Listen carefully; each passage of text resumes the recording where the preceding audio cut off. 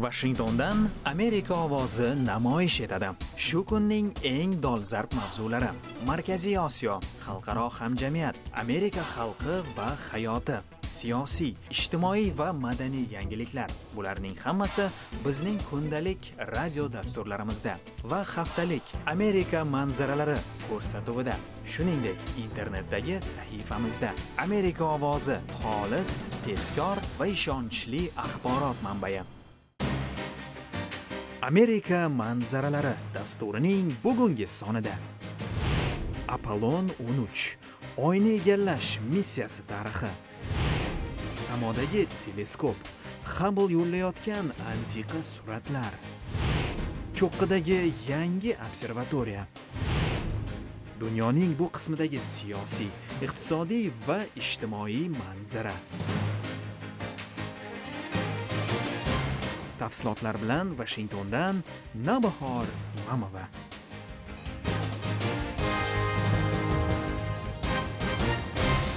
Assalomu alaykum. Amerika xalqi va hayoti tashqi siyosati va global mavzular haqidagi ko'rsatuvimiz huzuringizda. Faqat bugun sizga aqsh va u dunyo bo'ylab olib borayotgan sa'y harakatlar va siyosat haqida emas balki fazodagi tadqiqotlar izlanishlar haqida hikoya qilmoqchimiz. Oyga qaytish orzusi marsda hayot bormi fazodagi teleskoplar va ular uzatayotgan g'aroyib tasvirlar. Shuningdek inson yaratgan bugungi texnologiya nimaga qodirligi haqida haqida qator lavhalar tayyorlaganmiz. 1970 yilning apreli fazogirlar jim lovell fred heys va jek svager navbatdagi parvozga tayyorgarlik ko'rmoqda. Bu davrga kelib fazoviy tadqiqotlar hatto oyga qo'nish oddiy bir holga aylangan edi. Kema samoga ko'tarilganidan so'ng ekipajdan sovuq xabar keladi kislorod konteyneri portlab elektr tizimi ishdan chiqqan apollon 13 kapitani jim lovell voqeani shunday eslaydi oyga yetib bora olmaganimizdan juda xunob bo'lganman. Portlashdan keyingi uch kun mobaynida astronavtlar hayot uchun kurashgan. Ularni qanday qilib yerga qaytarish ustida bosh qotirgan olimlar yetakchilik bir komanda bo'lib ishlash krizis boshqaruvi haqida gapirganda o'sha missiya eng yorqin misol. Fazogir maykl kollins 1969 yili insoniyatni oyga yetkazgan apollon 11 kemasini boshqargan. Apollon 13 hammaga saboq bo'ldi deydi u.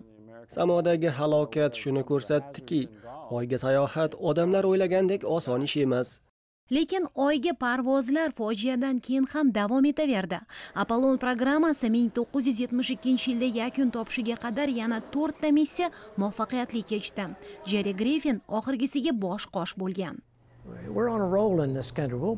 Bu ketishda 20 yil ichida marsga ham yetib olamiz degan edim 1972 yilda mana oradan 30-40 yil o'tdi. Hali ham qizil sayyoraga qadam bosmadik. Afsuski bu ishni amalga oshirish uchun yetarli iroda yo'q. Chikagodagi adler planetarisida gemini va apollon dasturlariga bag'ishlangan yangi ko'rgazma ochilgan. Oy missiyasi. Unda jim lovellning fazogirlik faoliyati davomida kiygan ishlatgan buyumlarini ko'rish mumkin.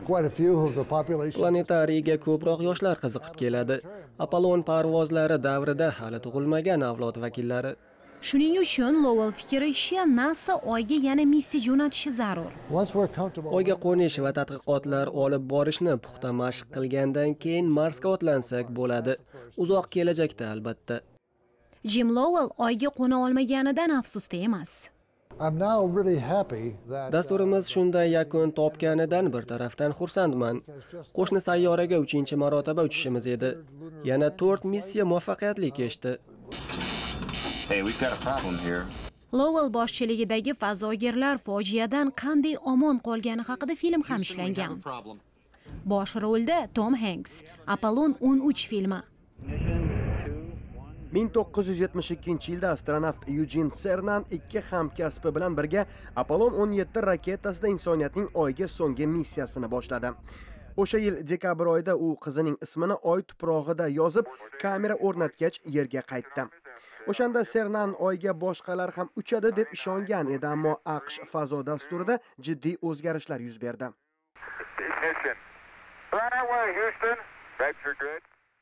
Oh, fazo dasturining o'zi yo'q. Amerikada ishlab chiqilgan raketada amerikalik fazogirni o'zimizning oydagi stansiyamizga yubora olmasak bu qanday gap sernan ostin shahriga o'zi haqidagi film targ'iboti uchun keldi. Film oydagi so'nggi inson deb ataladi. Kartina o'tgan asrning 60-70 yillarda aqsh fazogirlarining oyga uchgani haqida hikoya qiladi. Sernanning yoshligini tasvirlovchi videoda keksa astronavt o'z hayoti va fazodagi sarguzashtlari haqida ham ma'lumot beradi. Bu g'alaba va muvaffaqiyat qissasi. unda qayg'u ohanglari ham seziladi fazogirlikni kasb qilib tanlagani uning oila a'zolari uchun qiyinchiliklar tug'dirgani ayon bo'ldi. Film rejissyori mark kreyg sernanning rostgo'y va samimiyligini alohida tilga oladi. Luckily for us, Gene is a very- yaxshiyamki yujen haqiqatni qo'rqmay gapiradigan inson. O'z hissiyotlarini tuyg'ularini bemalol ifoda etdi. Sernan uchun oy hanuz o'z mo'jizasini yo'qotmagani aniq. Oyga qaytishni istarmidim. Shu zahotiyoq sernan fazoga boshqa parvoz qila olmasligini tushunadi ammo boshqalar uning ishini davom ettira olishiga umid qilmoqda. Yoshlarni ilhomlantirishimiz menga hamkasblarimga o'z vaqtida berilgan imkoniyatlarni ular uchun ham yaratishimiz kerak. Fazogir bo'lish uchun nima kerak? Agar butun umr davomida qilayotgan ishingizni haq deb hisoblasangiz tavakkal qilishdan cho'chimasangiz ishni qo'rqmay bajara olsangiz demak to'g'ri yo'lni tanlagansiz. Hammasini uddalaysiz. Oydagi so'nggi inson filmi yoshlarga shuni tushunishda yordam beradi deydi fazogir. And liftoff of the Space Shuttle Discovery with the Hubble Space Telescope. 1990 yil 24 aprelida aqshning discovery fazo kemasi orbitaga maxsus asbob olib chiqib insoniyatning koinot haqidagi tasavvurida inqilob yaratdi. Hubble kosmik teleskopi yerning tuman bilan qoplangan atmosferasidan ancha balandlikda uchib sayyoralar yulduzlar galaktikalar va uzoq masofalardagi osmon jismlarini misli ko'rilmagan tiniqlik bilan ko'rish imkonini berdi. Hajmi avtobusday keladigan teleskopga amerikalik astronom edvin Hubblening nomi berilgan bo'lib uni yaratish uchun 10 yil vaqt 1,5 milliard dollar va 10 mingdan ziyod odamning mehnati ketdi Down here, there's a mirror. Nancy Grace Romanni Hubble teleskopining onasi deb atashadi.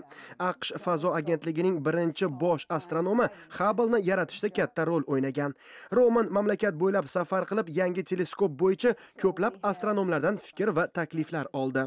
Astronomers had been astronomlar anchadan beri atmosferaning ustidan kuzatuv olib borishni xohlagan edi. Koinotga atmosfera uzra boqish eski xira obyektiv orqali qarashdek gap. Obyektiv toza bo'lmasa u orqali kelayotgan tasvir ham xira ko'rinadi. Roman yirik observatoriyani yaratish maqsadida astronomlar va NASA muhandislari qo'mitasini tuzadi. Ed Weiler Roman bilan teleskop ustida ishlagan va birinchi bosh astronom 1979-yilda lavozimidan ketgach uning o'rnini egallaydi va 2011 yil sentyabrgacha bu va NASAning boshqa dasturlari ustida ishlaydi. The Hubble, Hubble ilk bor ishga tushganida yerdagi eng kuchli teleskoplardan 10 baravar ustun turishi aniqlandi. Bitta katta qadam bilan 10 karra salohiyatga erishdik. So'nggi bor bunday salmoqli yutuqqa insoniyat Galiley ilk teleskopdan foydalanganida erishgan. Hubble'dagi ilk texnik nosozliklar bartaraf etilib, apparat osmon jismlarini kuzatishda va kashf etishda tarixiy vazifani amalga oshirdi. Teleskopning keng burchakli kamerasi yerga g'aroyib tasvirlarni jo'nata boshladi. Hubble kashf etgan osmon jismlarining aksariyati oldin aniqlanganlaridan ancha olisda joylashgan edi. Bu teleskop inson ko'zi ilg'aydigan jismlardan milliard marta uzoqroq obyektlarni juda ham tiniq suratga tushirib bera oladi. Masalan, uning yordamida oyda uchib yurgan chigirtkani ko'rsa bo'ladi. Roman Hubble yuborgan ilk tasvirlarni ko'rganida qanchalik xursand bo'lganini eslaydi. meni ayniqsa yulduzlar to'plamining tasviri hayratga solgan edi har bir yulduzni alohida ko'rsa bo'lar edi ularning rangini ajoyib manzara edi 25 yillik faoliyati davrida Hubble olimlarining koinot haqidagi bilimini ming chandon oshirdi. Bu davr mobaynida fazoga bir necha raketa uchirilib, teleskop yanada takomillashtirildi. O'ta olisdagi yulduzlar va galaktikalarning Hubble yuborgan tasvirlari astronomlarga koinotning yoshini aniqroq hisoblash imkonini berdi. Oldin koinotning yoshi 10 dan 20 milliardgacha yil atrofida deb aytilgan bo'lsa, Hubble tufayli uning 14 milliard yil avval vujudga kelgani hisoblab chiqildi. Edwin Teylerning aytishicha, Hubble olimlarga shuningdek kosmosning kattalashishini tezlatayotgan kuch, qorong'i energiyaning borligini tasdiqlatib berdi. Aksariyat galaktikalar markazida qora tuynuk deb nomlangan sirli gravitatsiya girdobining borligi ham Hubble yordamida isbotlandi. Qora teshiklar bir paytlar fantastik nazariya edi. Hech kim bunga ishonmasdi. Hubble esa ularning borligini isbotlab berdi. Insoniyat tarixida eng muvaffaqiyatli ilmiy fazo missiyalaridan biri. Yer atrofida aylanayotgan observatoriya bugun ham o'z faoliyatini davom ettirmoqda. Teleskop yuborgan ilk tasvirlar negadir xira chiqqan. Habl loyihasi boshqaruvchisi duglas brum o'shanda shum xabarni jamoatchilikka yetkazgan. Tekshiruvlarimiz natijasida shunday xulosaga keldikki teleskop tizimi optikasida jiddiy nuqson bor ekan. Muammo hablning qalinligi inson soch tolasidan 50 barobar yupqa bo'lgan asosiy oynasida bo'lgan. Fazogirlar tez orada teleskop kamerasini yangilab unga mos linza o'rnatishdi ta'minlash shuni ko'rsatdiki astronavtlar ana shunday murakkab operatsiyalarni o'zlari bajara oladi deydi aqsh kosmonavtika muzeyi kuratori devid devorkin koinotda yashab ishlashdan ko'zlangan maqsad ham shu ta'mirlash kashfiyotlar qilish. Texnologiyalar haqida gapiradigan bo'lsak bugungi teleskoplar ancha ilg'or. Hablni bir marta tuzatganmiz lekin to'rt marta qismlarini yangiladik 2009 yilda Hubblening ayrim mexanik qismlari yechib olinib ko'rgazmaga qo'yildi. Vaqt o'tgan sari undan olingan tasvirlar o'tkirlashdi, tiniqlashdi. Ularni o'rganib olimlar 14 milliard yil oldingi manzaraga nazar tashlay oldi. Galaktikamiz kengayib bormoqda deydi ular. David Dworkin Hubble yordamida qilingan kashfiyotlar haqida so'zlaydi. yulduzlar tizimi qanday paydo bo'ladi gaz va chang bu jarayonga qanday hissa qo'shadi teleskop bugun ultra qizil va binafsha ranglarni ko'ra oladi. Bu ilmiy jihatdan ahamiyatli. Eng olis galaktikalarda paydo bo'lgan yangi yulduzlarni yorug'lik darajasiga qarab ilg'aydi habl o'z missiyasini yakunlar ekan yangi vositalarga yo'l ochib berdi. 2018 yilda bundanda mukammalroq bahaybat James Webb teleskopini uchirish mo'ljallangan. Uning oynalari Hubble'nikidan 5 baravar kattaroq.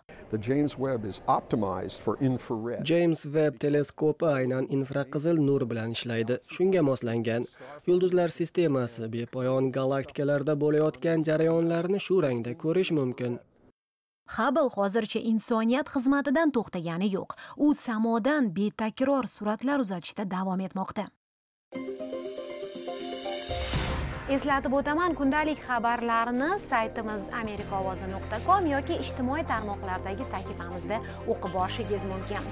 Facebookda bormiz, Twitter'damiz, YouTube'dan ham bizni topishingiz mumkin. Shuningdek, Odnoklassnikida ham o'z sahifamizga egamiz.